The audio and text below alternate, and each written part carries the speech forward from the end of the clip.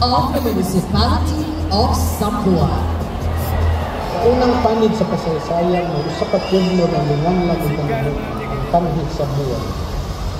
Ang taga-panamugan gawas ng hangtod ni abot ang mga dayo, ang mga Kastila, dala ang bagong pangunahulian. Ituhok ang liso sa Kristyanismo ang bagong pamahagi ng Pilipinas.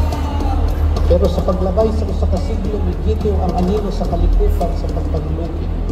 Ang tinyet ay may gibati ng kainit sa pagkabismaya kung ang pagluto sa mga katawhan na nagsugnog og kainit sa iyang dalam. Namugna sa hilong ang plano. Ug ang katawhan ni usbong ang kainit sa dalam batok sa kahawan.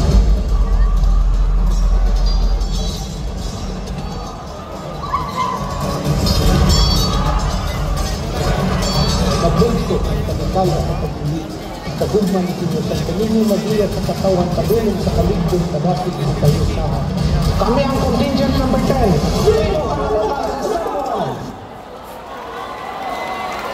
Contingent number 10, Tribo Kanamukan of the Municipality of Sambuan. Good job.